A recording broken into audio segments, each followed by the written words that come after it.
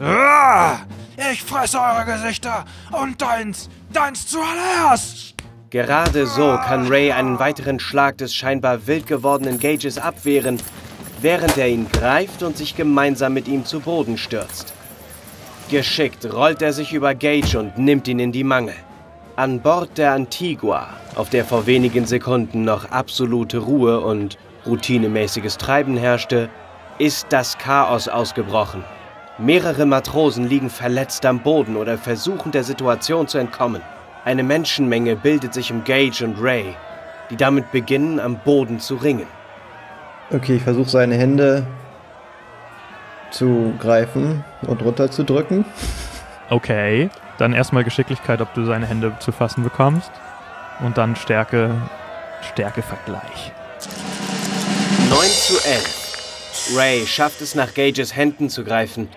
Aber wer von den beiden ist der Stärkere? So, wir machen beide einen Stärke-Erfolgswurf. Soll ich anfangen? Mhm. Uh, uh, uh, 11 zu 13. Also musst du jetzt dein schaffen und niedriger als 11. Mhm. Okay. Auch 11. Ja, okay, dann sind wir gleich gut, weil ich eben. Okay, also Okay, ich- du versuchst die Hände runterzudrücken, aber du schaffst es nicht. Naja, also dann drücken wir halt so gegenseitig die genau. Hände wahrscheinlich gerade, ne? Ich, genau. Also ich drehe mich dann zu Charles um und rufe ihm zu: Charles, hol schnell Hilfe, der ist völlig durchgedreht. Da, da, da, da, da, da, da, da, Kommandant! Ich laufe zum Kommandanten. Alle eure Gesichter, ich werde sie sammeln!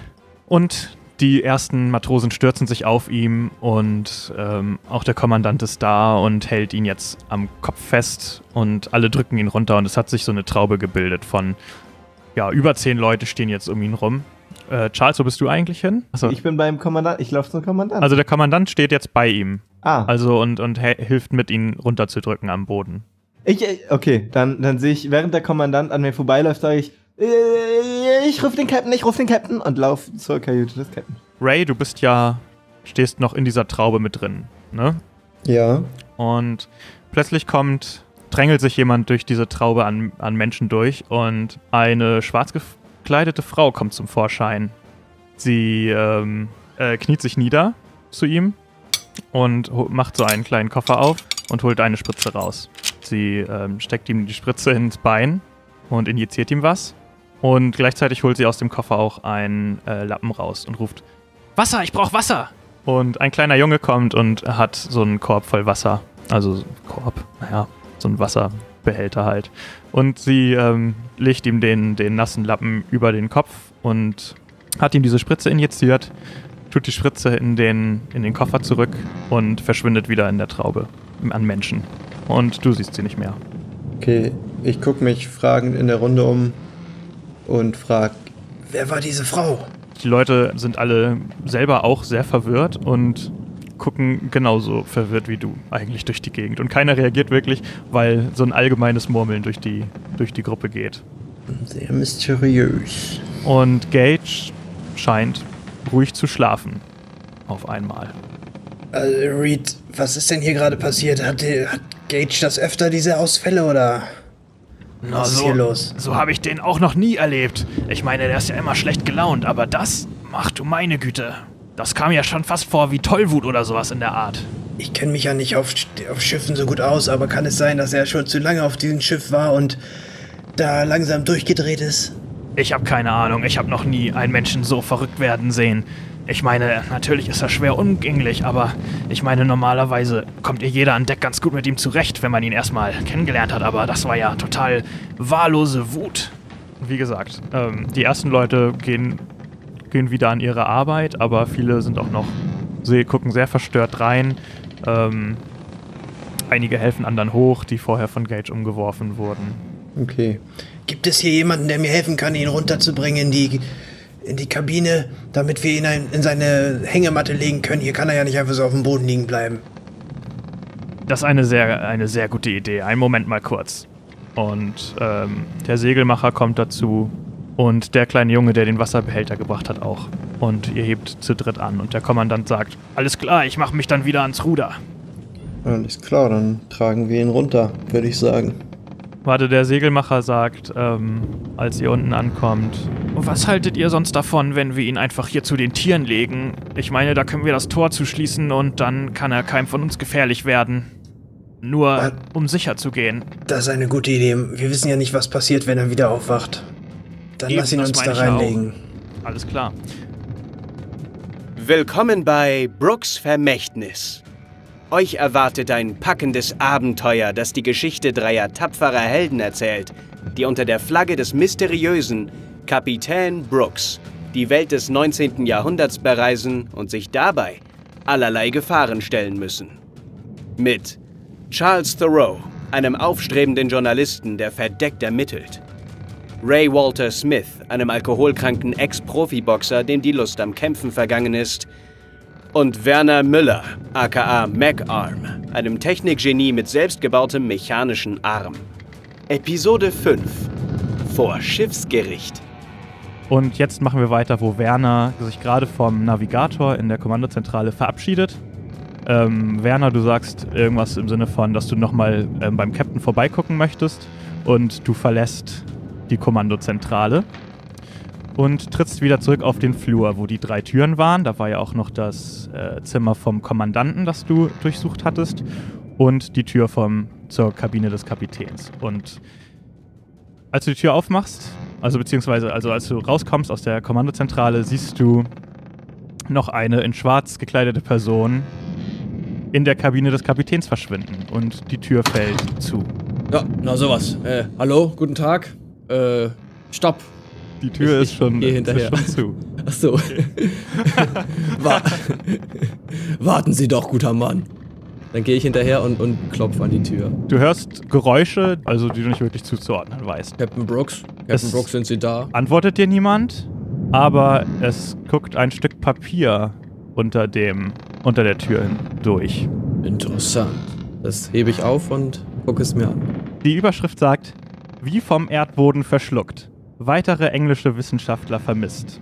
Und es ist ein kleiner Absatz. Dort steht, London. Auf unerklärliche Weise sind in den letzten Monaten bereits einige berühmte Wissenschaftler aus England spurlos verschwunden. Bisher konnte die Ursache für das mysteriöse Verschwinden noch nicht geklärt werden und ein Ende ist offenbar noch längst nicht in Sicht. Neben den bereits verschollenen Zwillingsbrüdern Thomas und Thomas ist nun seit längerer Zeit auch der äh, bekannte Kartograf Aldrin Hobbs nicht mehr aufzufinden. Dr. Hobbs ist in wissenschaftlichen Kreisen besonders für seine Expeditionen bekannt, auf denen er meist äh, in meist noch unerforschte Teile der Erde vordringt. Besonders unter Seefahrern, Entdeckern und anderen Wissbegierigen werden seine Karten überaus geschätzt. Vor kurzem hat darüber hinaus auch der Ehemann der Physikerin, Ellie Turner, seine Frau als vermisst gemeldet. Was mag sich hinter diesen Ereignissen verbergen? Bei Hinweisen jeglicher Art wenden Sie sich bitte an Ihre örtliche Polizeistation. Interessant. Kartografen, vermisste Zwillinge. Das klingt nach einem weiteren Rätsel. Und es kommt ein kleiner Junge rein, vom, vom Deck kommt er, und hat eine äh, Schüssel mit Suppe in der Hand und stellt die vor der Tür ab. Vom, vom Captain. Na, wunderbar. Äh, vielen Dank, mein Kleiner. Ähm, ich hebe diese Hallo, auf. danke schön. Ja, ja, ja. Äh, bitte Suppe. schön, aber das ist eigentlich nicht für Sie, also. Ja, mein, ich weiß schon, für wen das ist. Meine Güte. Und dann möchte ich klopfen und rufen: Captain Brooks, Captain Brooks, die Suppe ist fertig. Der Junge guckt zu dir hoch und sagt, da machen Sie sich mal keine, keine Gedanken, der die meiste Zeit hole ich die Suppe ungegessen wieder ab. Also der, der isst die eigentlich sowieso nicht. Ich weiß gar nicht, warum ich immer wieder dazu gezwungen werde, die hier hochzubringen. Ist interessant. Mein Kleiner, ich habe eine Frage an dich. Äh, hier ist gerade so ein Mann mit einem schwarzen Mantel, äh, hat diesen Raum betreten. Weißt du, wer das ist? Hm, Ich weiß leider nichts darüber. Ich habe die eben auch an Deck gesehen, aber das scheint eine Frau gewesen zu sein. Allerdings habe ich die vorher noch nie gesehen. Keine Ahnung, was es mit der auf sich hatte. Aber an Bord erzählt man sich, dass immer mal wieder hier Leute auftauchen, die normalerweise nicht hier an Deck sind. Das ist wirklich ziemlich merkwürdig. Ich glaube, die meisten hier an Bord ignorieren diese Tatsache einfach. Du meine Güte, eine Frau an Bord. Das bringt Unglück, das weiß man doch. Danke sehr. Sag mal, äh, Sie sind doch mit den anderen in London aufs Schiff gekommen. Absolut richtig. Ich und die anderen beiden Helden, wir haben ein Abenteuer erlebt und sind jetzt an Bord. Ich habe mich gefragt, ob Sie vielleicht äh, meinen Bruder gesehen haben. Der ist nämlich an London von Bord gegangen und bisher konnte mir keiner sagen, was mit ihm passiert ist. Ich habe ihn seitdem nicht wiedergesehen. Heißt dein Bruder Thomas und ist dein Zwilling? Thomas? Nein, Thomas? Äh, mein Bruder heißt Alphons. Oh. Ui. Ähm, mein kleiner, äh, der, ups, der Alphons, äh, ähm, ich, ich versuche ihn anzulügen. Also irgendwie ist der in London nicht, mit, nicht mehr mit Aber- an Bord gekommen und ich weiß Ich- auch nicht so genau. Ich mache mir Sorgen, dass ihm was zugestoßen sein könnte. Äh, der, dem geht's bestimmt super, sage ich und werde dabei etwas rot und stottere. Ich bin mir sicher, der hat nur äh, ein, einen neuen Job gefunden oder so. Das wäre aber merkwürdig, dass er mich hier alleine zurücklässt. Hm. Ihr habt ihn also nicht gesehen. Und in dem Moment, ähm, Charles, kommst du mit dazu. Du warst ja schon auf dem Weg dorthin, also betrittst du jetzt auch den Flur. Ja, ich bin dankbar über die Ablenkung. Charles, meine Güte, äh, komm mal her hier. Äh, das ist die Kajüte des Captains. Vielleicht weißt du, was wir tun können, damit er uns antwortet. Der Captain, der Captain. Ich renn, ich renn zur Tür und, und klopf, also hämmer quasi an diese Tür sogar. Captain Brooks, Captain Brooks, ein. Der Zimmermann ist verrückt geworden und läuft Amok auf dem, auf dem Mannschaftsdeck. Captain! Captain, so sagen Sie doch was. Ähm, Also es passiert äh, nichts. Ähm, ist denn jemand verletzt? Ob jemand verletzt ist? Jeder, jeder äh, Seemann, der auf, auf, auf Deck ist, wird angegriffen vom, vom, vom, vom Zimmermann. Mir war das schon von Anfang an suspekt, nimmt er uns einfach den Dolch weg. So, jetzt hilf mir hier doch mal den Captain aus seiner Kajüte zu tun. Ich, ich klopf wieder dran. Ich meine natürlich, äh, rauszuholen, nicht zu tun. Also ihr hört nichts, aber es erschallt eine Glocke. Und es entsteht auf dem Deck allgemeine Aufbruchsstimmung. Okay, dann, dann laufe ich wieder aufs Deck und guck einmal, was hier gerade passiert. Ja, Se- ihr seht, seh dass alle Arbeit stehen und liegen lassen und sich ins Unterdeck begeben. Sehe ich auch, dass sich diese Situation mit dem Zimmermann äh, erledigt hat? Ja, also davon ist keine Spur mehr zu sehen. Okay, außer dass an einem Mast noch ein bisschen Blut klebt. ich spreche, also ich nehme ja irgendwie den Erstbesten, der da vorbeikommt und frag, hä, was, was ist mit dem Zimmermann passiert? Ist der, der, der, der hat doch eben gerade hier noch alle angegriffen. Der Zimmermann wurde weggebracht. Aber jetzt gibt's erstmal Frühstück. Komm mit, mein Junge. Frühstück, ha, mal sehen, was auf See als Frühstück bezeichnet wird. Und hochnäsig folge ich. Meine Güte, das scheint eine schöne Rauferei gewesen zu sein. Nächstes Mal bin ich hoffentlich dabei. Habe ich auch die Glocke gehört? Genau, du hörst die jetzt auch und du hörst auch, dass die Leute ins Deck, ins Unterdeck zu euch kommen. Das ist ja die Küche. Äh, der Speiseraum ist ja nur ein Raum weiter als da, wo ihr jetzt gerade seid. Ja, dann würde ich auch dahin gehen und äh, Ausschau halten nach Werner und Charles. Ja, und du kommst raus und triffst direkt auf so eine Meute an Matrosen und anderen Männern, die an Bord sind. Und siehst auch Charles und Werner runterkommen. Werner hat zwar nicht gesagt, dass er mitgeht, aber ich gehe mal davon aus. Ich bin dabei. Ja, dann siehst du die auch da schon die Treppe runterkommen. Werner, Charles, es gibt Essen. Lass uns mal zusammen an einen Tisch setzen. Ich muss mit euch über die Situation reden, die da eben an Deck passiert ist. Der Zimmermann, was. Hast du es geschafft, ihn, ihn, ihn zu beruhigen? Oder was ist da passiert? Ich dachte, ich dachte, die Hölle auf Erden bricht los. Ja, komm, lass uns erstmal zum Essen gehen, damit wir einen guten Platz kriegen und dann können wir in Ruhe darüber reden. Essen. Ich halte Gänsefüßchen mit meinen Händen, während ich das Wort Essen sag, neben meinen Kopf. Der, ihr betretet den Speiseraum und es gibt eine Schlange vor der Durchreiche zur Kombüse. Und äh, in der Kombüse steht der Koch und gibt offensichtlich Suppe aus. Vor der Kombüse hat sich schon eine Schlange, äh, vor der Durchreiche hat sich eine Schlange gebildet, wie gesagt. Es gibt mehrere, drei, vier lange Tischreihen mit Stühlen. Ja, anstellen, würde ich sagen, ne? Ich möchte was essen, ich stelle mich da jetzt an die Schlange an. Ihr hört den Koch und er gibt äh, aus und sagt, Ja, genießt eure Suppe. Hier für dich. Heute eine extra große Ration. und äh, schenkt vorher, schenkt allen vorher ein und dann macht er auch einen Teller für Ray fertig und dann macht er einen Teller für Werner fertig und dann sieht er Charles und sagt, Ah, ihr Essen ist bereits angerichtet. und deutet mit einem Finger in eine Ecke des Raumes, also an ein Tischende. Was äh, ist da? Also ich guck da hin. Du was, siehst da, einen was Tel- da steht ein Teller und ein Löffel liegt dort. ich, ich setz mich da hin. Okay, die anderen kommen mit. Ja, Von Weitem sieht's aus wie Suppe. Und du setzt dich hin und guckst da rein und siehst, dass es scheinbar Dreckswasser ist, in der eine dicke, fette Ratte schwimmt. Was? Heute hat Frankie wohl wieder richtig was gezaubert. Ich starre das Ding einfach nur an. Sprachlos. Und alle anderen äh, setzen sich jetzt auch hin und unterhalten sich lautstark, als ihr plötzlich eine Stimme hört, die euch bekannt vorkommt, und zwar die von Commander. Und er sagt, Crew, alle sofort erheben. es stehen alle auf. Ich nicht, ich bleib sitzen und guck wie gelähmt auf diese, diesen Okay. Unfall. Werner und Ray? Ja, bei solchen Ja, zackigen Befehlen stehe ich auch mal auf. Okay, alles klar. Ich unterbreche nur ungern das Frühstück, aber leider wurden mir Beschwerden zugetragen. Wie ich hörte, wurden gestern unserem Koch Frankie mehrere Küchenmesser entwendet.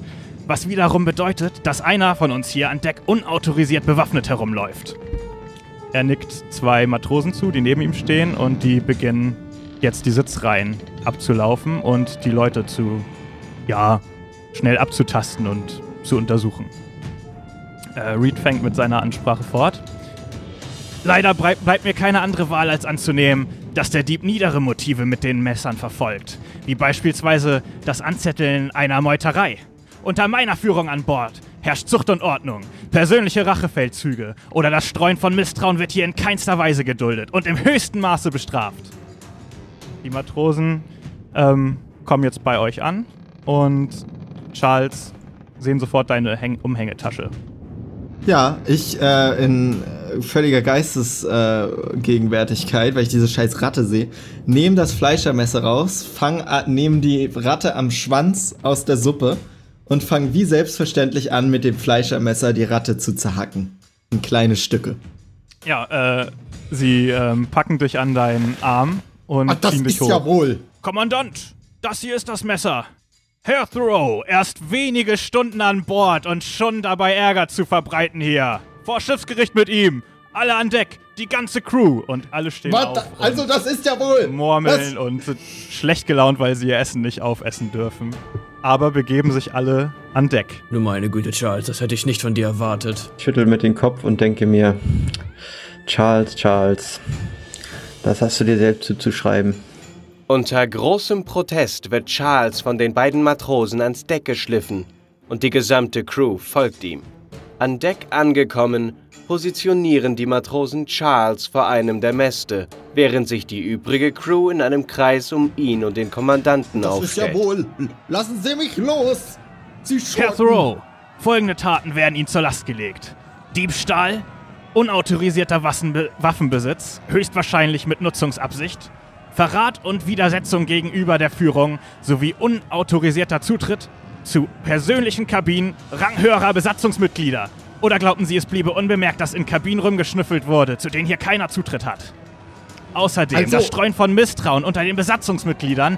Ohne weitere Umschweife verurteile ich den Angeklagten durch die mir verliehene Macht als oberster Kommandant, Herr Charles Thoreau, zu fünf Peitschenhieben. Ein Hieb für jeden Anklagepunkt. Also das ist ja wohl unerhört. Darf ich nicht mich zumindest hier verteidigen? Und alle um dich rum fangen an zu grölen und zu jubeln oder zu buhen. Das ist eine Militärdiktatur. Ich, ich bestehe darauf. Ich, äh, ich habe keinen Zugang zu Jäger. Ich, ich bin nur reingegangen, wo ich reingehen durfte. Welche, welche Kabinen sollen durchsucht worden sein? Bitteschön. Er reagiert nicht darauf, aber es kommt jemand aus der Menge mit einer Peitsche in der Hand und klatscht die Peitsche so ein, zweimal in die Luft, um die Masse anzuheizen. Ich, ich möchte nach vorne treten. Äh, li lieber Kommandant, ähm, das sind tatsächlich schwerwiegende Anschuldigungen. Das stimmt natürlich. Aber darf ich zu bedenken geben, was dieser Charles schon alles für uns getan hat? Wir haben viel für den Captain getan und auch viel riskiert und vielleicht können wir da noch mal ein Auge zudrücken oder so. Also, äh, du vermutest, dass es sich bei der Untersuchung der Kabinen natürlich darum handelt, dass du äh, seine Kabine durchwühlt hast. Ja, habe ich Und du hast hab ja- ich schon verstanden. Du hast ja auch die Puppe versteckt und äh, Ja. vermutest, dass das von ihm jetzt eine per, äh, so eine Art persönlicher Rachefeldzug sein soll, weil er sich natürlich sehr äh, beleidigt fühlt und wahrscheinlich auch gedemütigt dadurch, ne? Ja, und das war auch der Grund, weshalb ich nach vorne getreten bin, weil ich ja äh, auch ein schlechtes Gewissen habe, dass ich das ja gemacht habe und er dafür bestraft wird. Deswegen verteidige ich ihn Genau. etwas. Ich hab's mir gedacht, ich wollte es dir nur nochmal äh, klar sagen. Ähm, ja, also er ist auf jeden Fall in Rage und sagt, Ich weiß ganz genau, wenn hier die Kabinen durchsucht werden, das kriege ich mit. Ich bin ja schließlich der Kommandant an Bord und so etwas können wir nicht weiter dulden. Aber es gibt können Sie denn beweisen, dass ich das war, verdammte Hühnerarzt? Als Kommandant habe ich nichts zu beweisen und jetzt vollzieht die Das Strafe. ist eine Militärdiktatur. Ha habt ihr das alle gehört? Das ist Meine eine Güte, Militärdiktatur. Kommandant, Herr Kommandant, Sie können uns hier nicht behandeln, als wären wir Ihre Puppen. Und Sie können unsere Rechte auch nicht einfach wegzaubern. Nun lassen Sie den Mann in Ruhe. Eine ruhige, bestimmte äh, Stimme fährt durch die, durch die äh, Massen. Äh, und es ist der Kapitän, der plötzlich äh, auch in den Menschenmassen steht und hervorgetreten ist und sagt, genug, es reicht jetzt. Ich glaube, der Mann ist genug bestraft worden. Das wird ganz still. Ähm, der Kommandant guckt etwas wütend rein. Er zögert so, als ob überlegt, ob er noch irgendwas dazu sagen soll, aber er sagt dann, ähm, Also gut. Äh, dann äh, keine Peitschenhiebe, aber vorerst müssen wir ihn wegsperren. Bringt ihn runter in die Also, Gefängniszellen. das ist ja wohl eine Frechheit ist das. Captain Brooks, wenn Sie ein Funkengerechtigkeitsempfinden haben, wenn Sie ein Funkenrückgrat haben, dann werden Sie jetzt verhindern, dass ich hier eingesperrt werde für Taten, die ich noch nicht mal begangen habe. Ob du die Taten begangen hast oder nicht, das wird sich noch rausstellen. Und du wirst von den beiden Matrosen runtergezerrt ins Deck. Und der Captain beobachtet dich dabei. Und der Captain gibt euch, äh, Ray und Werner, euch gibt er ein Zeichen, dass ihr mit ihm mitkommen sollt. Okay, Ja. Dann Doch. ge gehen wir dahin, würde ich mal Ich bin sagen. ganz zufrieden, dass er, dass er keine, keine Peitschenhiebe mehr bekommen hat. Das kann man schon mal machen. Guter Kompromiss. Schreiend und fluchend wird Charles die Treppe herunter zu den Unterdecks getragen, während Ray und Werner dem Captain in seine Kabine folgen. Als allererstes stechen die großen Fenster ins Auge, die das Zimmer taghell erscheinen lassen und durch denen man einen beeindruckenden Blick hinaus auf das Meer hat. Ansonsten ist die Kabine geschmackvoll eingerichtet, allerdings scheinbar auf das Nötigste beschränkt. Zwei große Schränke auf der einen Seite, ein großes, sehr gemütlich aussehendes Bett auf der anderen. Die Bettwäsche macht den Eindruck, frisch bezogen zu sein. Alles in diesem Raum sieht so aus, als wäre es ganz neu. Oder nur selten benutzt. In der Mitte steht ein großer, aufgeräumter Schreibtisch, an den sich der Kapitän setzt und damit beginnt, sich eine Pfeife zu stopfen. Und er gibt euch ein Zeichen, dass ihr euch hinsetzen sollt. Also da stehen Stühle auf der anderen Seite des Schreibtischs. So, da setze ich mich gerne hin.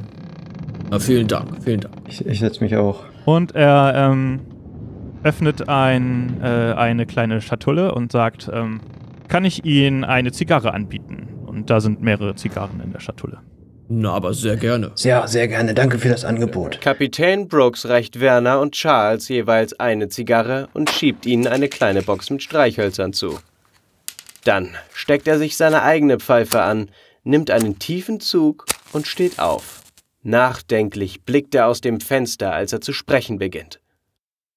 Wisst ihr, seit ich ein kleines Kind war, brauchte ich mich nie um mein finanzielles Wohl zu sorgen.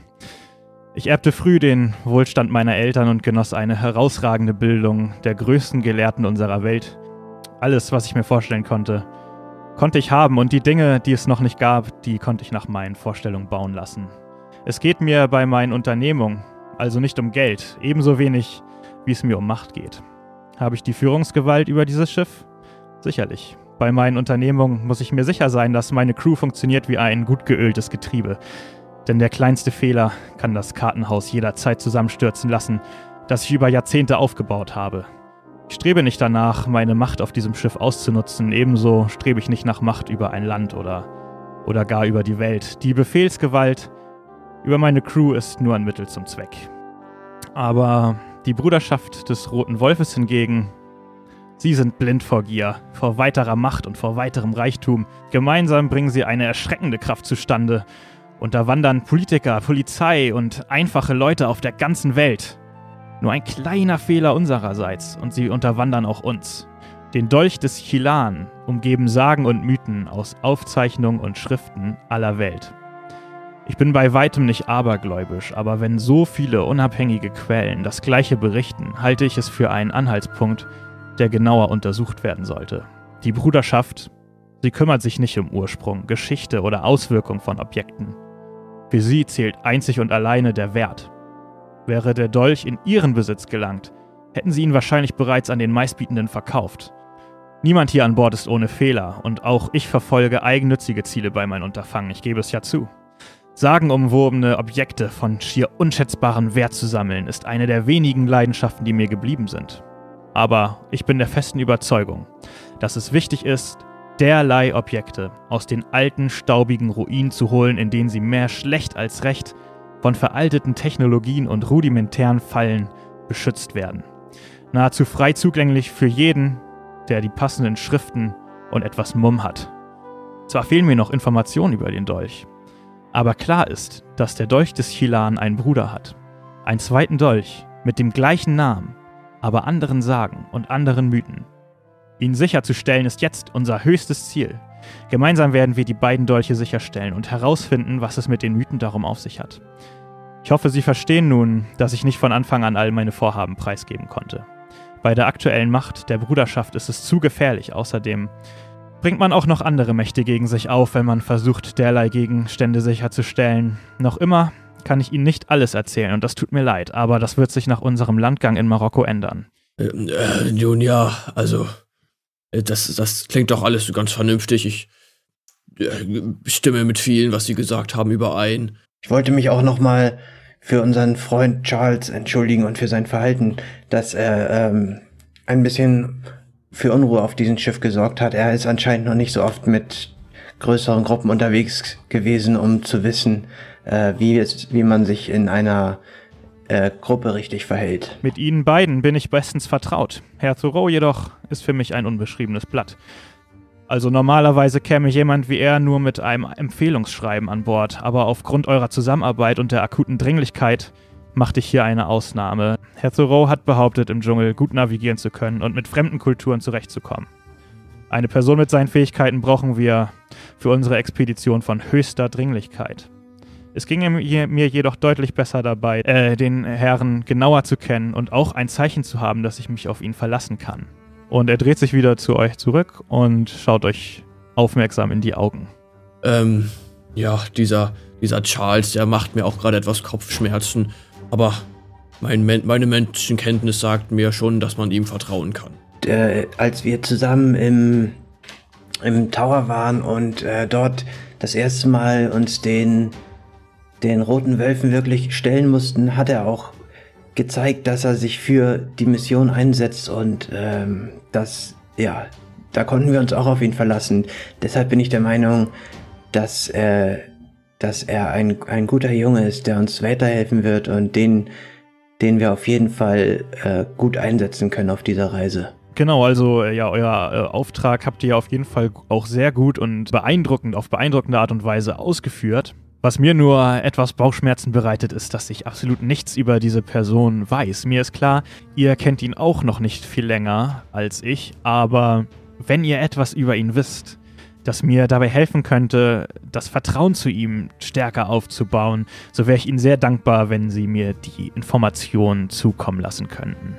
Also, wie gesagt, Captain, wir, wir kennen den, den Charles ja nun auch noch nicht sehr lange, aber seine, sein Verhalten bisher war zwar durchaus von, von Ängstlichkeit und Furcht geprägt, aber er war nie unloyal, er war stets bemüht, äh, die Rote Bruderschaft zu bekämpfen.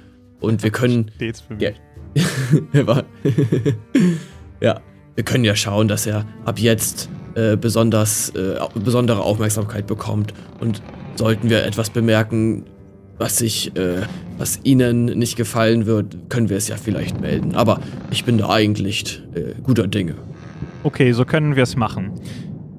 Ich kann ähm, jetzt erstmal nichts für Herrn Thoreau tun. Äh, der Kommandant muss oberste Befehlsgewalt an Deck haben. Das ist einfach wichtig und ich kann seinem Befehl nun nicht ohne weiteres widersprechen. Ähm, er wird ein paar Tage im Kerker sitzen müssen. Aber wir werden sehen, wie es dann mit ihm weitergeht. Wenn Sie äh, bis dahin etwas rausfinden oder in, oder in irgendeiner Form eine Möglichkeit hätten zu zeigen, dass er ähm, motiviert ist und auch gewillt ist, einen Schritt auf mich und meine Crew zuzugehen, dann sagen Sie mir bitte jederzeit Bescheid. Denn wie gesagt, eine, einen mit seinen Fähigkeiten können wir einfach sehr gut gebrauchen und den werden wir so schnell auch nicht mehr bekommen, denn wir sind ja schon bereits unterwegs und da, wo wir jetzt hinreisen, da tja, ist es mit den Gelehrten nicht allzu stark besiedelt. Äh, Captain, ich hatte da noch eine andere Sache. Ich weiß nicht, ob Sie das mitgekriegt haben, aber vorhin an Deck äh, ist der Zimmermann ja irgendwie ausgerastet und hat wild um sich geschlagen und ähm, hat, er konnte dann nur von mir und mehreren anderen Leuten überwältigt werden. Ist denn so etwas schon mal hier auf dem Schiff passiert? Ich habe derartige, derlei Symptome schon, schon ähm, mehrfach gesehen. Wir vermuten, dass es etwas mit dem Dolch auf sich haben könnte, aber bevor ich weitere Informationen rausgebe, hätte ich gerne selbst etwas mehr ähm, Sicherheit. Selbstverständlich. Dann ist in dieser Situation ist auch eine schwarz gekleidete Frau mit einer Spritze hervorgekommen. Die ist dann auch schnell wieder verschwunden. Die ist mir vorher auf dem Schiff noch gar nicht aufgefallen. Können Sie mir vielleicht sagen, um wen es sich dabei handelt? Er schmunzelt so ein bisschen und sagt, ah, unsere äh, Schiffsärztin hat sich also mal wieder blicken lassen. Die kann man auch einfach nicht im Zaum halten. Machen Sie sich da keine Sorgen, die werden Sie schon früh genug kennenlernen. Captain, Captain, ich hätte auch noch eine Frage.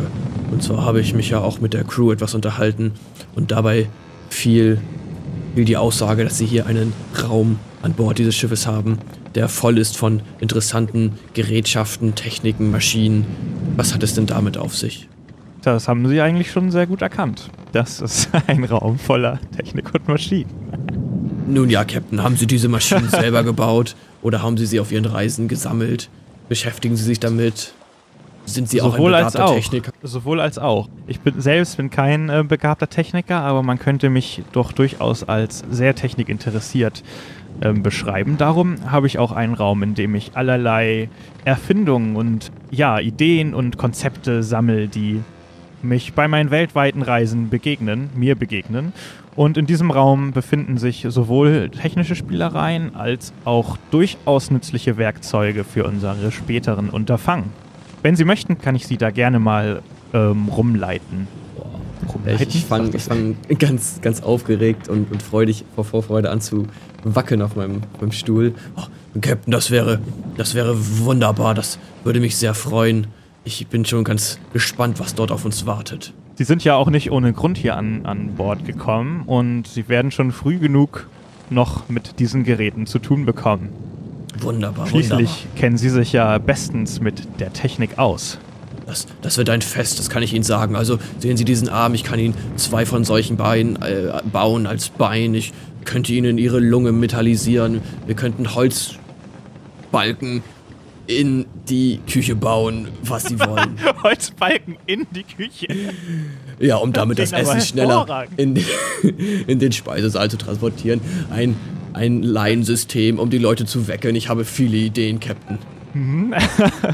Er nickt äh, mäßig interessiert. Wie gesagt, ich werde äh, mit Ihnen gemeinsam den Raum nochmal ähm, betreten, aber sollten Sie Alistair über den Weg laufen, so fragen Sie ihn doch, ähm, ob er Ihnen den Raum schon einmal öffnet. Werfen Sie doch gerne einen Blick rein, aber bitte immer in Begleitung. Gut, äh, dann würde ich mich nun gerne wieder meinen Untersuchungen hingeben, sagt er und ähm, steht auf und gibt euch ein Zeichen, dass ihr euch auch erheben sollt. Haben wir denn schon unsere, unsere Pfeifen angezündet oder unsere Garre, was das war? Ich glaube nicht. Dann möchte ich das jetzt auch mal machen. Ach so, ja, ich habe es mir so vorgestellt, als hättet ihr sie schon die ganze Okay. Zeit dabei. Genussvoll. Außer genau, einer, ja. einer wollte das nicht. Dann kann er sie sich natürlich auch aufsparen. Nö. Okay. Äh, vielen Dank, Captain, dass Sie so offen zu uns waren und Ihren Plan uns mitgeteilt haben. Jetzt ist mir auch ein bisschen klarer, worum es hier genau geht und ähm, hoffe, dass wir natürlich das Ziel unserer Mission schnellstmöglich erreichen. Ja, Captain, das geht mir ähnlich. Auch wenn ich mich nicht für fremde Artefakte oder Kulturen so wirklich begeistern kann, bin ich doch stolz, ein Teil dieser Unternehmung zu sein. Ja, und er sagt ähm, noch so, ja, für Sie, ähm, Herr Müller, wird es noch genügend Dinge geben, die Sie begeistern und die Sie studieren können. Und dann dreht er sich äh, euch wieder mit dem Rücken zu. Ja, und ihr verlasst die Kabine Genau. Jo. Und da steht der Bootsmann, Spencer, mit seinem krummen Rücken so ein bisschen gebückt und äh, als hätte er auf euch gewartet. Und er sagt, Mann, das war ja eine ganz schöne, ganz schöner Aufruhr heute Morgen. Mann, Mann, Mann. Findet ihr nicht auch? Ja, ich wäre sicher gern dabei gewesen. Das, das hat bestimmt ordentlich gerumst. Sag mal, was hat denn euer Kollege da verbrochen? Das, äh, sowas hatten wir ja schon lange nicht mehr hier an Bord. Ach so, ich dachte, wir reden von, von der Prügelei. Äh, ja, dieses Ausgepeitsche, das war ja auch nicht sehr schön. Aber das hat sich ja jetzt alles einigermaßen zum Guten gewendet. Dieser Charles Der muss sich erstmal einleben hier an Bord. Der ist den Umgang mit so richtigen Männern nicht gewohnt. Naja, zum Glück wurde ja keiner ausgepeitscht, aber äh, wenn ich mir vorstelle, dass er vorhatte, hier eventuell jemanden abzustechen, da mache ich mir schon ein bisschen Sorgen. Ich traue Charles nicht zu, dass er wirklich jemanden abstechen würde. Ich glaube, er ist äh, immer nur eine sehr impulsive Person, die manchmal nicht nachdenkt, bevor sie Taten macht. Erkennt und nicke. so wortgewandt. Ähm, während ihr mit ihm redet, fällt euch etwas auf. Und zwar trägt er heute ähm, ein, ja, ein armfreies Hemd. Und ihr könnt seinen Oberarm sehen. Und auf diesem Oberarm ist ein, eine Wolke drauf tätowiert, die euch ziemlich bekannt vorkommt. Eine Wolke. Eine die Wolke, von- die von ihr schon mal gesehen von habt. Kasten, oder von, wo wir dieses Rätsel hatten mit den, mit den Drehrädern da. Ja, dieser genau. Schatulle. Ah. Genau. Ach ja, die haben wir ja auch noch. Meine Güte. Spencer, das ist aber, das ist aber ein sehr schönes Tattoo, was du da hast. Was bedeutet das denn? Ah, danke, danke, ja. Ich würde ja gerne sagen, dass das eine Jugendsünde war, aber so alt ist das Tattoo noch gar nicht.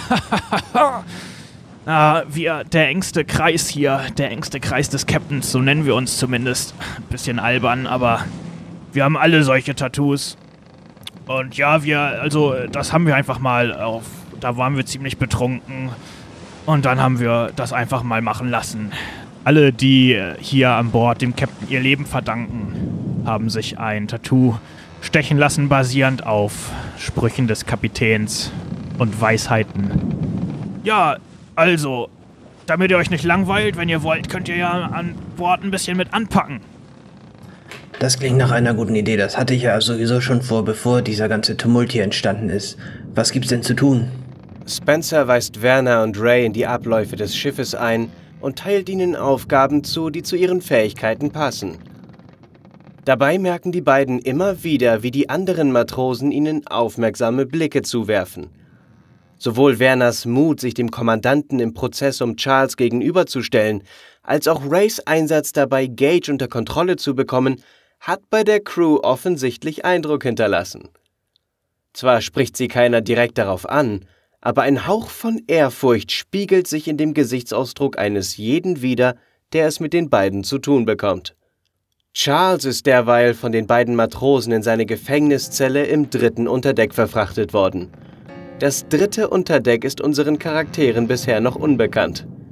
Es ist dort sehr düster und die drei Gefängniszellen, die nur aus metallenen Gitterstäben bestehen, sind nur leicht beleuchtet. Charles wurde in die mittlere Zelle geschlossen. Die Zellen zu seiner linken und zu seiner rechten sind leer. Ein langer Gang führt das Unterdeck entlang. Jedoch kann man bei der mangelnden Beleuchtung kaum mehr als ein paar Schritte hineingucken. Ich guck mich im Kerker um, was da so rumliegt. Also auf dem Boden liegt gemütliches Stroh. Es gibt auch ein Holzbrett in der Ecke. Sieht so aus, als solltest du da drauf schlafen. In einer Ecke steht ein Eimer. Ja, auf dem ganzen Boden liegen so Kieselsteine und so ein Zeug rum. Hm. Äh, also du, du kannst den ganzen Gang entlang sehen und siehst, dass es halt da mehrere Türen gibt und so etwas. Also da scheint noch mehr unten zu sein als nur die Gefängniszellen. Ja, aber ich komme hier nicht raus. Ich äh, guck mal, was, was ist in dem Eimer irgendwas drin? Das riecht ganz merkwürdig aus dem Eimer. Aber er ist leer. Nur ein Ist- bisschen feucht. Okay, ich, ich ähm, tu das Stroh unter das Bett. Wieso nicht drauf? Naja, weil die Flamme oben heißer ist. Ich habe ja noch Streichhölzer. Also deine Tasche hast du nicht jetzt dabei, ne? Also habe ich die Streichhölzer nicht? Nein, du hast deine Tasche nicht dabei. Ja, das Die wusste ich wurde nicht. Die dir natürlich nicht abgenommen. abgenommen. Ja, Die nee, wurde nicht natürlich natürlich. abgenommen. Mir wurde auch nicht, das möchte ich fürs Protokoll einmal sagen, mir wurde auch nicht explizit das Messer abgenommen. Meinetwegen gehe ich d'accord damit, dass das Fleischermesser mir abgenommen wurde. Aber dann möchte ich das bitte jetzt einmal gesagt bekommen, liebe Spielleitung. Aber das Messer war noch in der Tasche, als sie mich schon weggezerrt haben. Das heißt, das Messer habe ich noch in der Tasche. Okay. Also wenn das, also die Tasche haben sie dir definitiv abgenommen. Wenn du sagst, das Messer war in der Hosentasche, dann hast du es noch dabei. Also das Fleischermesser habe ich ja benutzt. Ja, das hast, haben sie dir auch Für die in deiner. Hand gelassen. Nee. Das haben sie mir dann weggenommen. Okay, dann ist das aus meinem Inventar gelöscht. Haben sie die, die Tasche nochmal durchsucht danach? Eigentlich ja nicht. Weil dann haben sie mich ja direkt schon verurteilt. Hast du nicht mitbekommen, nee. Ob sie die jetzt noch durchsucht haben. Also ja, okay, weil das aktueller Stand theoretisch. ist, die liegt noch im Speiseraum. Okay, weil da theoretisch halt noch ein Messer drin ist, ne? Das möchte ich nochmal gesagt haben. Ich habe zwei Mhm. Messer geklaut. Gut. Mhm. Aber ich habe jetzt ja dann nichts. Das heißt, ich schreie um Hilfe. Hast du das Und- Messer nicht sogar irgendwann mal äh, Ray gegeben? Vor irgendeiner Prügelei? Ich hatte drei Messer geklaut. Also ein Messer ist, glaube ich, echt noch irgendwie bei euch. Stimmt, du hast mir mal irgendwann eins gegeben. Das müsste ich noch haben. Ich glaube, das war, als der Zimmermann uns unten bedroht hat. Das Ja, stimmt. Hallo, ist Hilfe, hört mich jemand? Es kommen äh, zwei Leute rein. Jeder von denen schleift oder hat so eine andere Person im Arm und schleift die so hinter sich her. Und die Zelle links neben dir wird aufgeschlossen und die beiden Personen da reingelegt. Mal, Dann was wird die Zelle zugeschlossen und die beiden gucken dich an und sagen: Jetzt brüll doch mal nicht so rum, Mensch. Was ist das denn für ein Schiff? Hier sind gerade drei Leute inhaftiert. Was ist denn mit dem Kommandanten los? Was, was sollen jetzt die beiden hier gemacht haben? Und Sollen sie, sollen sie ein Lied gesungen haben an Bord? Ist das auch schon strafbar jetzt? plötzlich kommt jemand aus dem Schatten, also aus dem Schatten des Ganges. Äh, Du siehst ihn und er sieht ziemlich. Ja, er sieht irgendwie richtig runtergekommen aus und hat so einen ganz langen weißen Bart. Und er hat so einen richtigen verrückten Gesichtsausdruck drauf und er sagt: Die beiden, die beiden habe ich schon einmal gesehen. Warum, warum bringt ihr sie wieder zurück? Und die sagen: Ach, Olli, jetzt halt doch den Sabbel hier. Die, wir haben unten keinen Platz mehr. Wir müssen uns jetzt um jemand anderen kümmern. Darum müssen wir die jetzt hier mal kurz auslagern. Jetzt, äh, verzieh dich wieder zurück in deine Kabine da hinten, in deine Absteige. Die beiden gehen wieder hoch und der Verrückte, den sie Olli genannt haben, steht immer noch da und beobachtet euch alle in den Gefängniszellen. Oh, hi, Olli. Wer bist du? Ich bin äh, Charles Thoreau ist mein Name. Ich Warum bin, haben sie dich eingesperrt? sagt er und er kommt an dein Gefängnisgitter und steckt seine Nase so durch und guckt dich mit deinen, seinen Augen durchdringlich an. In meinem Schatten von meinen Augen ist ein wenig ein angewidertes Moment, was ich aber gerade noch so zu unterdrücken schaffe. Ja, was ich gemacht habe. Ich weiß es auch nicht. Anscheinend. Anscheinend habe ich endlich mal erkannt, was das hier eigentlich mit diesen ganzen Rängen und so weiter auf dem Schiff eigentlich ist. Nämlich ein Polizeistaat, bei dem Captain Brooks machen kann, was er will und, und alle anderen nach seiner Pfeife tanzen, aber Der Mann äh, springt plötzlich auf und fängt an, laut zu lachen und rumzukichern. Der Captain! Und springt in Kreisen durch den Raum. Jetzt, das, sagen Sie mal, was ist denn jetzt schon wieder los? Hat der Captain Sie verrückt gemacht? Hat er Sie, hat er Sie, hat er Ihnen den Verstand weggefoltert? Der Captain! Der Captain! Ich bin der Captain! Ich bin hier der Captain an Bord! Und niemand sonst! Captain, hast du denn auch einen Schlüssel für diese Zelle? Den haben sie mir abgenommen! Und dann bleibt er wieder stehen und guckt auf die ähm, beiden anderen Personen und beobachtet die. Na, sag mal, Olli, wer sind denn die beiden da nebenan, hä? Sie kommen aus einem fernen Land.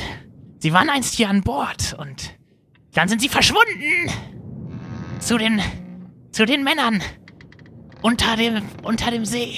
Die Männer unter dem See. Was, welcher See? Unter dem See. Und er legt sich flach auf den Boden und rollt sich übers Deck. Na, jedenfalls, die beiden anderen ähm, Eingesperrten, die liegen dort und ähm, atmen und so. Also es scheint alles in Ordnung zu sein, aber sie scheinen auf irgendeine Form ruhig gestellt zu sein. Wir haben auf jeden Fall eine dunklere Haut und längere dunkle Haare. Kann ich das überhaupt sehen? Die sind doch nebenan. Ja, ja, du kannst zu denen durchgucken. Also Ach, das sind Zellen quasi Gitterstäbe nur. Gitterstäbe. Genau. Ah, okay. Dann nehme ich den Eimer und hau mit dem Eimer gegen die Gitterstäbe. Und guck, ob sie wach werden. Einer von den beiden kommt zu sich und richtet sich so auf. Seine Augen sind so blutunterlaufen. Hallo, Charles Thoreau ist mein Name. Mit wem habe ich das Vergnügen? Und er stammelt irgendwas vor sich rum, aber du verstehst ihn nicht. Wie bitte? Ich verstehe dich Also, nicht. er spricht eine Sprache, die du nicht sprichst, vermutest du. Okay, ich, ich versuche ähm, mit Zeichensprache zu kommunizieren. Zeig auf mich und sage Charles Thoreau. Und ich, ich überlege, was ich. Ähm, Also er scheint dich zu, er versteht dich. Also, was heißt verstehen, aber er hört dich. ich versuche, also kenntlich zu machen, ich will die Tür aufmachen. Hast du eine Idee, wie das geht? Also rauszukommen. Aber er guckt dich nur mit großen Augen an. Er macht den Eindruck, als wäre er ja noch so ein bisschen vernebelt oder so. Also er scheint nicht komplett bei seinen Kräften und bei seinen Sinn zu sein. Ich rufe nochmal, hey Olli! Wo kommen die beiden denn her? Der Himmel spricht nur zwei Sprachen. Welche Sprachen spricht der Himmel denn? Er kommt wieder ganz dicht an deine Zelle ran und hockt sich hin und hat einen ganz ernsten Gesichtsausdruck Ausdruck plötzlich wieder drauf und sagt: Sie kennen sich aus. Sie wissen mehr. Sie wissen alles. Alles wissen Sie. Und er springt auf und verschwindet im dunklen Gang. Ich bin verzweifelt und, und denk, ich schrei noch mal laut. Und, und schmeiß den Eimer gegen die Zellentür und dann dramatischer Schnitt in die Halbtotale bei Ray und, und Walter. Ray und Walter. Werner. Ähm, ich bin gerade 30 Meter über dem Deck, häng in den Tagelagen, selbstsicher wie ein junger Affe und knote mit meinen beiden Zehen ein Tau zusammen, was gerissen war. Nee, ich habe keine. Geschicklichkeit, scheiße. Ich, ich flick das einfach so. Ich häng da irgendwie in der Tagelage. mhm. Ich gucke, ich gucke nach unten und sehe 30 Meter unter mir Ray, wie er übers Deck geht und in jedem seiner Arme ein riesiges Fass Wasser trägt. Ganz spielerisch. Oh ja. Das ist eine gute Idee. Ich glaube, ich würde einfach mal ein bisschen jetzt da arbeiten. Ein bisschen äh, mich auszupowern. Das ist ja Ein Äh, bisschen ja. sozusagen wie Training. Bei mir ist so, ich bin halt richtig gut, deswegen bin ich schon fertig. Das ganze Segel ist geflickt und die Takelage ist wieder heil. Deswegen lasse ich mich jetzt ganz souverän ab. Mit einem Arm, also mit meinem gesunden Arm halte ich mich an so einem Seil fest und dann so ein, so ein Flaschenzug, der mich nach unten sanft bringt. Und lande selbstsicher genau neben Ray und nick ihm zu. Moin. Und dann möchte ich schauen, ob ich Alistair irgendwo sehe. Alistair ist nicht ähm, an Deck auf jeden Fall. Hm, Dann gehe ich zum nächsten Matrosen, der an Deck ist und möchte mit ihm reden. Der Navigator steht dort. Mit dem hattest du ja schon gesprochen. Der guckt Ja. gerade mit einem Fernglas in die Ferne. Äh, Guten Tag, der Herr. Äh, Sie erinnern sich an mich. Ich, ich habe neulich, äh, bin ich in Ihr Büro geplatzt. Wir hatten ein, ein nettes Gespräch. Ich möchte mich nochmal vorstellen. Ich bin Werner McArm. Ah, Schön, Herr Sie McArm. zu treffen. Ja. Wunderbar. Ich erinnere mich an Sie. Ist ja gerade mal ein Stündchen her. Ja. Auch wenn ziemlich viel, auch wenn ziemlich viel Aufregung dazwischen war, möchte ich sagen. Ja, hier an, an, an, an Deck dieses Schiffes auf dem hohen Meer vergeht die Zeit für mich wie im Fluge. Da kann ich schwer Zeitpunkte festmachen. Aber egal.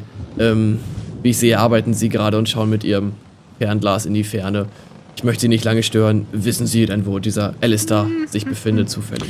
Alistair, ich glaube, ich habe ihn zuletzt ähm, in das, zum Unterdeck gehen sehen.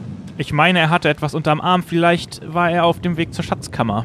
Ist die direkt neben der Waffenkammer? Die Schatzkammer äh, befindet sich im, im dritten Unterdeck. Ich weiß nicht, ob Sie da hingehen wollen. Das ist immer ein bisschen ungemütlich. Ich begebe mich dort auf jeden Fall nicht hin. Wissen Sie, da ähm, werden auch die Gefangenen aufbewahrt und äh, es ist, äh, ja. Nee, also, mh, wer sich hier an Bord auskennt, der meidet das Unterdeck lieber. Es geht da nicht mit rechten Dingen zu. Ja, wobei ich mir vorstellen könnte, dass im Moment auch die Leute aus dem dritten Unterdeck das dritte Unterdeck meiden, weil da befindet sich ja gerade dieser Charles. Sehen Sie, das ist dieser Freund von mir, mit dem ich hier am, an Bord bin. Und der geht den Leuten doch sehr auf die Nerven. Wie Sie meinen, Aber- der, der ist mir noch nicht begegnet. Freuen Sie sich. Naja, sei es drum. Ich denke, ich werde mich mal aufmachen und dieses Unterdeck besuchen. Da wünsche ich Ihnen sehr, sehr viel Erfolg. Ja, ich vermute, der Weg ist einfach ins zweite Unterdeck und dann die Treppe weiter runter. Das ist korrekt. Einfach die Treppe immer weiter runtergehen, dann bis es nicht mehr weitergeht. Das dritte Unterdeck ist hier, das letzte, meint man. Ja, äh, vielen Dank und viel Spaß beim weiter in die Ferne schauen. Das ist kein Spaß, das ist Arbeit. äh, wie Sie meinen, sage ich und, und schaue mit, mit, mit stolzem Blick in das Segel, was ich gerade repariert habe. Das ist Arbeit. Aber Ähm, gehst du direkt ins dritte Unterdeck? ja. Okay. Das ähm, Unterdeck ist, also du kommst an, ähm, auf dem Weg dahin passiert auch nichts Spannendes. Und es ist äh, sehr dunkel dort. Ähm, du kommst runter und neben dir sind direkt die Gefängniszellen, wo du auch Charles sitzen siehst, der gerade einen Eimer durch die Gegend kickt. Ja. Äh, Charles, äh, hast du es dir hier gemütlich gemacht? Hey, hey, was ist. wa- wa- Was ist hier los? Charles. Oh, ich will hier raus! Verdammt! Oh, du bist das, Werner. Ah. Na? Ja. Jetzt hast du aber mal gesehen, was hier eigentlich Phase ist, ne? Hier Ja, an Bord. Der, der Ray und ich, wir hatten ein, ein gemütliches Gespräch mit dem Captain. Wir haben Pfeife geraucht und über dies und das geschnackt. Du musst wissen, er ist auch ein sehr technikinteressierter Mensch. Ein angenehmer Mensch, würde ich sagen. Ich wette, er hat, er hat auf äh, Fragen von euch auch geantwortet. Ja, ja, später erkläre ich euch das alles. Hab seh- ich recht? Nein, Charles, schau mal. Hab haben, ich recht? Wir haben Hab keine, ich recht? Er war sehr Hab freundlich. ich recht? Wir haben keine Messer geklaut. Er war sehr freundlich zu uns. Das erste Mal, als ich mit diesem Mann in einem Raum saß, kamen danach Leute mit Waffen angerannt und wollten uns erschießen. Wieso Ja. sollte ich so jemandem trauen? Charles, das erste Mal, dass ich mit dir in einem Raum saß, kamen danach Leute angerannt und wollten mich erschießen. Ja, aber ich war da zufällig. Ich war da, weil ich einen Brief gefunden habe, dass irgendein Captain Brooks irgendwas mit verschollenen Wissenschaftlern zu tun hat. Deswegen war ich da. Ja, und wegen diesem, wegen diesem Empfehlungsschreiben, das darfst du nicht vergessen. Das sah auch sehr professionell aus. Zwinker, zwinker. Hast du eigentlich gehört, was ich gerade gesagt habe? Ich habe gesagt, ich bin hier, um rauszufinden, was mit verschollenen Wissenschaftlern passiert und Captain Brooks hat offensichtlich irgendwas damit zu tun. Ich bin mit dieser Ansicht rangekommen und das erste, was Captain Brooks mir dann sagt, ist, dass London in Gefahr ist. Und, und dann kommen die roten Wölfe an und schießen. Ja. Ist das nicht ein bisschen merkwürdig? Zu diesen verschwundenen Wissenschaftlern habe ich auch etwas gelesen. Hier, schau dir diesen Zeitungsartikel an. Und ich gebe ihm den Artikel, den ich gefunden habe. Ich lese den nochmal. Ich weiß nämlich nicht mehr hundertprozentig, was alles da detailliert drin stand. Ja, es Soll ich geht nochmal um... vorlesen? Auf unerklärliche Weise sind in den letzten Monaten bereits einige berühmte Wissenschaftler aus England spurlos verschwunden. Bisher konnte die Ursache für das mysteriöse Verschwinden noch nicht geklärt werden und ein Ende ist offenbar noch längst nicht in Sicht. Nach den bereits verschollenen Zwillingsbrüdern Thomas und Thomas ist nun seit längerer Zeit auch der bekannte Kartograf Aldrin Hobbs nicht mehr aufzufinden. Dr. Hobbs ist in wissenschaftlichen Kreisen besonders für seine Expedition bekannt, auf, deren, auf denen er meist noch unerforschte Teile der Erde vordringt. Besonders unter Seefahrern, Entdeckern und anderen Wissbegierigen werden seine Karten überaus geschätzt. Vor kurzem hat darüber hinaus auch der Ehemann der Physikerin Ellie Turner seine Frau als vermisst gemeldet. Was mag sich hinter diesen Ereignissen verbergen? Bei Hinweisen jeglicher Art wenden Sie sich bitte an Ihre örtliche Polizeistation. Verstehe, ja genau. Genau deshalb bin ich hier. Ich will rausfinden, was mit den verschwundenen Wissenschaftlern passiert ist. Aber wie gesagt, ich wollte mich um verschwundene Wissenschaftler kümmern und auf einmal geht es um irgendwelche Artefakte und irgendwelche Illuminatenverschwörungen. Ja, ein, eine gewisse Prise Zweifel und, und Vorsicht kann nicht schaden. Aber ich habe ein, ein gutes Gefühl bei dem Captain. Und vielleicht änderst du deine Meinung, ja. Aber wenn nicht, ist es mir auch egal. Dann bleibst du eben hier im Gefängnis und wir werden alleine äh, auf Expeditionsreise gehen. Der, ich muss ja sowieso hier im Gefängnis bleiben, weil wenn du mich rauslassen würdest, dann wird der Kommandant kommen und mich wahrscheinlich zehnmal auspeitschen lassen. Plötzlich kommt Alistair den Gang entlang. Ah, äh, äh, tut mir leid, Charles, ich habe keine Zeit mehr. Alistair, Alistair, warten Sie doch mal. Also das ist ja wohl. Ah, Mr. Müller. ja, Was treiben Sie sich denn hier unten meine, auf dem Meine Unterdeck Freunde rum? können, sich, können mich nun MacArm nennen. Das scheint mir zu passen, dieser Name. Nick Arm? MacArm. Klingt auch irgendwie, irgendwie fescher. Ah, ah, okay. Ja, das ist eine alte, eine alte Tradition, sich einen Seefahrernamen zuzulegen. Sehr schön. Ich sollte auch Oh. einmal überlegen. Ja, ich wollte Sie gerade fragen, Sie haben noch keinen. Vielleicht können wir gemeinsam einmal überlegen. Bei einer Flasche Whisky. Aber ein andermal. Alistair. Ähm, ich habe höchstpersönlich vom Captain die Erlaubnis bekommen, mir diesen Technikraum einmal anzuschauen. Und Sie sollen einmal mitkommen und mir den aufschließen und dann mir ein bisschen was erzählen zu den Apparaturen. Hätten Sie dafür Zeit? Na gut, na gut. Dann kommen Sie mal mit hoch. Ja, dann äh, geht ihr hoch und er schließt den Raum auf und sagt, Ich werde ähm, Spencer, den Bootsmann, äh, rufen, dass er hierher kommt. Dann kann ich direkt weitergehen. Und äh, er schließt dann hinter ihn wieder ab. Bitte fassen Sie nichts an, wenn es geht. Was soll denn diese Unterstellung? Jede, jede Maschine, die ich anfasse, wird danach um 30% besser funktionieren. Uns gefallen die Maschinen so, wie sie aktuell funktionieren, auch ganz gut. Ja, aber äh, sehen Sie hier, das quietscht sicherlich direkt und hier ist der Energieverbrauch viel zu hoch und ich zeige einfach nur in den Raum rein, random, irgendwo hin. also er ist ein bisschen amüsiert und äh, verschwindet. und du äh, kannst reingehen, ja. Mhm. Ah, ja. Ähm, es ist dunkel und du siehst nichts, äh, es gibt aber Öllampen. Hm, ja, dann möchte ich. Also äh, ist daneben irgendwie ein Streichholz oder so, weil ich glaube, ich besitze keins. Die, die kannst du aufdrehen einfach und dann entflammen die sich. Das möchte ich tun und dabei auch, wie immer, die Apparatur bewundern, weil ich das mit jeder Apparatur immer tue. Als Werner die Lichter im Technikraum aufdreht, traut er seinen Augen nicht. Konstruktionen und Apparaturen, Werkzeuge und Baupläne stehen dicht an dicht in diesem Raum, für das bloße Auge kaum zu erfassen. Kaum eine der Apparaturen hat er schon einmal zu Gesicht bekommen, und nur bei einem geringen Teil versteht er überhaupt, wozu die Maschinen gut sind. Einige Apparate übersteigen seine Größe mehrfach. Viele Apparaturen sind allerdings auch unter weißen Laken verdeckt. In dem Moment, wo ich die Lampe aufdrehe und das alles sehe und realisiere und das alles beleuchtet wird, bleibe ich erstarrt stehen und bin hin und weg begeistert einfach.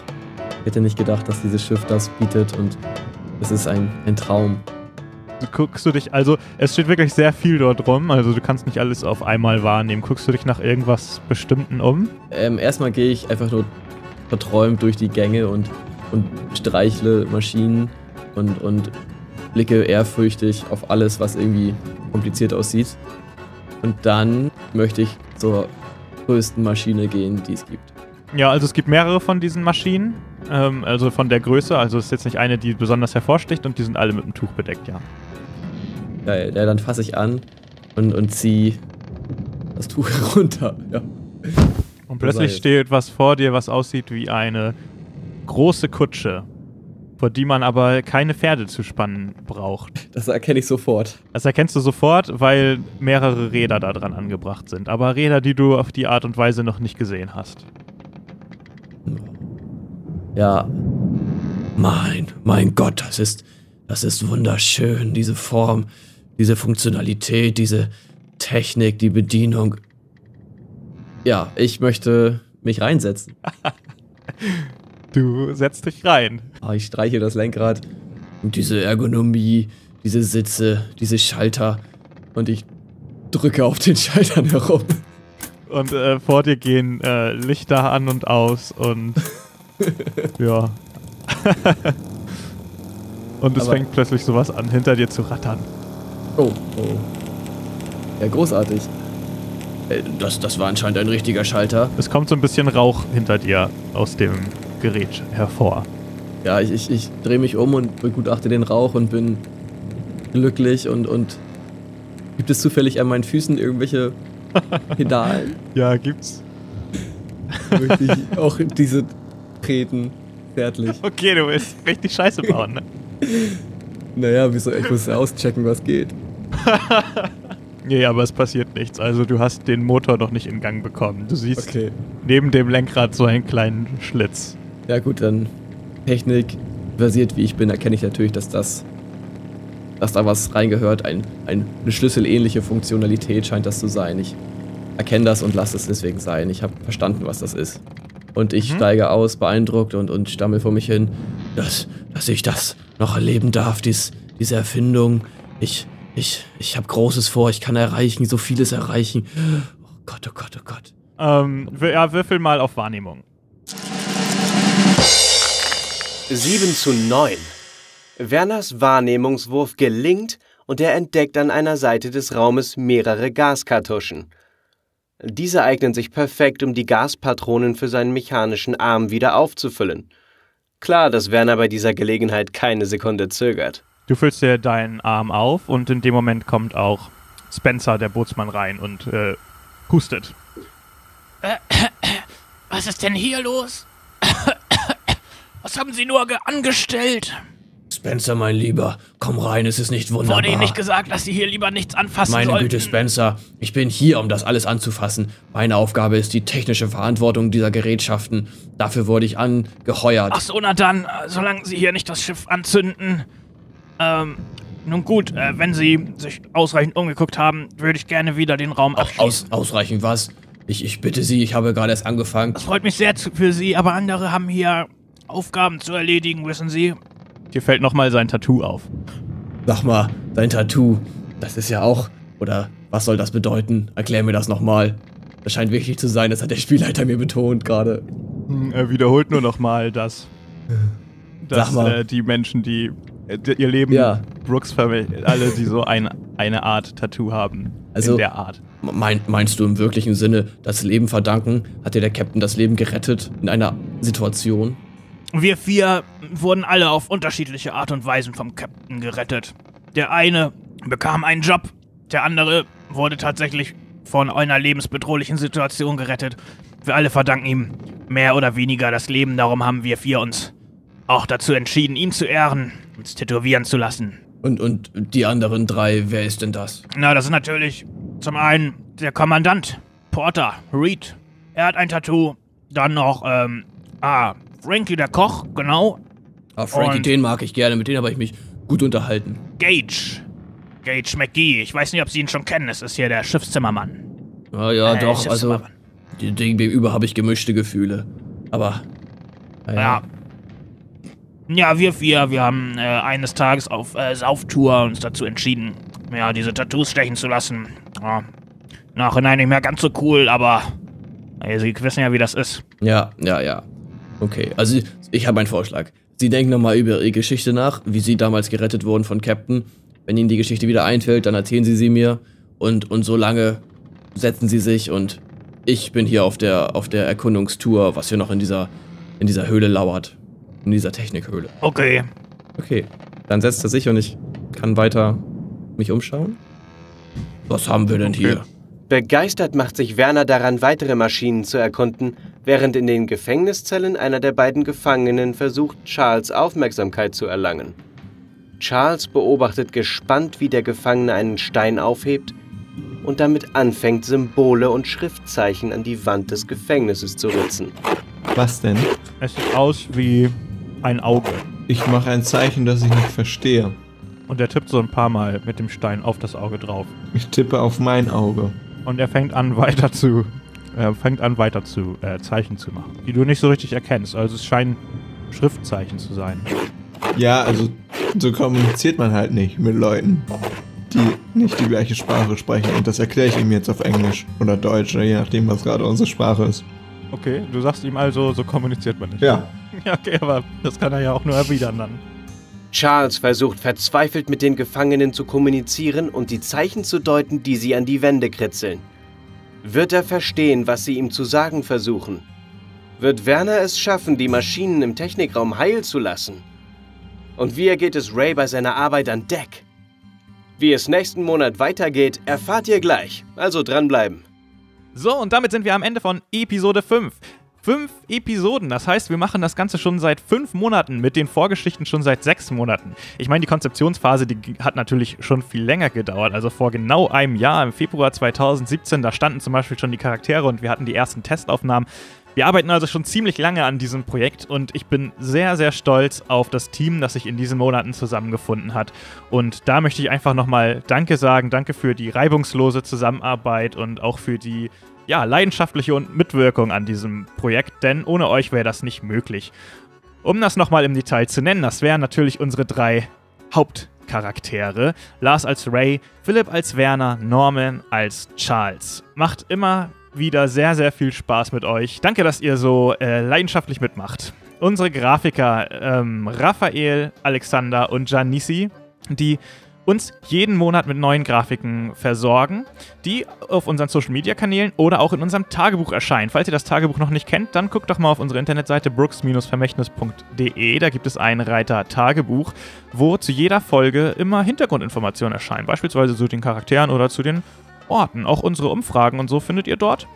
Guckt da doch immer gerne mal regelmäßig rein, da passiert auch zwischen den Folgen viel. Dann natürlich Vincent Brach, aka Vincent Fellow, unsere Erzählstimme, die euch immer über die Parts leitet, die ich ein bisschen zusammenschneide oder in denen ich mich mit meinen Erläuterungen ein bisschen verhaspelt habe. Dann macht der Vincent das immer noch mal schön und schickt mir seine Audiodateien immer rechtzeitig und perfekt benannt. Da muss ich mal Daumen nach oben geben, das ist wirklich einwandfrei. Wer fehlt noch? Anna kümmert sich um unsere Social Media Kanäle, sodass ihr ständig up to date bleibt, was bei uns gerade vor sich geht. Könnt ihr uns gerne auf Facebook, Twitter oder Instagram folgen. Überall sind wir at Brooks Podcast. Und nochmal natürlich Danke an Frederik, der unsere wunderbare Webseite erstellt hat und sich auch immer noch fleißig darum kümmert. Ähm, ja, die sieht echt top aus. Ja, wie gesagt, ähm, danke nochmal an das ganze Team. einfach ähm, super, dass das so klappt, jetzt schon seit fünf Monaten. Und ich hoffe doch noch viele, viele schöne weitere Folgen. Ja, es macht ähm, von Folge zu Folge mehr Spaß. Wir haben immer mehr Hörer, ähm, wir haben immer mehr Leute, kriegen immer mehr Feedback zu den Episoden, meistens positives ähm, aber auch Konstruktives. Und ja, es macht einfach äh, richtig Spaß. Wenn ihr unser Projekt unterstützen wollt, dann könnt ihr das gerne tun. Wir haben natürlich immer ein bisschen monatliche Kosten.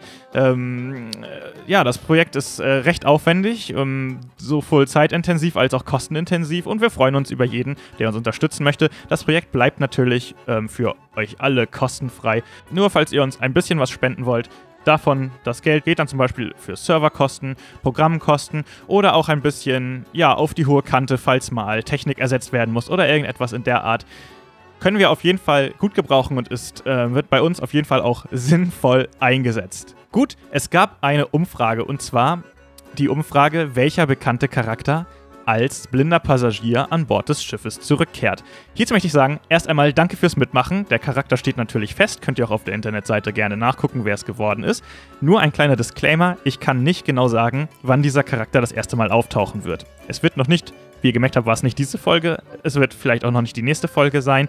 Es hat immer ein bisschen, ja, dadurch, dass unsere Geschichte halt fließend dann entsteht, wenn wir sie aufnehmen, kann ich halt nicht immer genau festlegen, wann was passieren wird. Es kann also sein, dass die unsere Spieler schon drauf treffen. Es kann aber auch sein, dass sich das noch ein bisschen hinzieht oder dass sie die äh, richtigen Hinweise gar nicht finden und dass sich das dadurch ein bisschen hinzieht. Das ist halt immer die Sache. Es kann also ein bisschen dauern, bis dieser Charakter, nur dass ihr Bescheid wisst, dass es ein bisschen dauern kann, bis dieser Charakter kommt. Aber die Entscheidung wird auf jeden Fall eine Auswirkung auf die Geschichte haben, so wie alle anderen bisher auch. Und auch in den nächsten Folgen wird es immer wieder für euch Entscheidungsmöglichkeiten geben, wo ihr die Geschichte mitbestimmen könnt. Also bleibt up to date und jetzt gibt es noch einen kleinen Einblick in die nächste Folge, die euch am 5. März erwartet. Wir hoffen, ihr schaltet wieder ein und jetzt viel Spaß mit der kleinen Vorschau auf nächsten Monat. Du hörst ein Flattern, Charles. Oh nein, ich nehme den Eimer schon mal in die Hand. Am Himmel ist der Horizont so fern, wie sonst nur am fernsten Stern. Also dieser, dieser Kerl äh, scheint mir sehr eigenartig zu sein, muss ich sagen. Hm, guck mal hier, also diese Maschine, die habe ich gleich auseinander. Muss jetzt hier nur noch diese und diese Feder gleichzeitig auseinanderbiegen und dann ist fertig. Ach, ach das, das. Du meine Güte, das war wohl ein Konstruktionsfehler hier. Das ist minderwertiges Material. Schön, schön, schön, schön. Es ist äh, zwar schon mittags, aber Ihnen wünsche ich einen guten Morgen. Ich bestehe auf mein Recht. Aber anscheinend gibt es dieses Recht hier auf, auf See nicht mehr. Was ist das für ein Amulett, über das sie da geredet hat? Hast du davon schon mal gehört? Also wenn, wenn du gewinnst, kriegst du von mir eine richtig schöne, frisch gewaschene Hose. Und wenn wir gewinnen, dann dürfen wir uns die Kette, die sich nicht um deinem Hals befindet, einmal näher angucken und eventuell auch die einfach haben.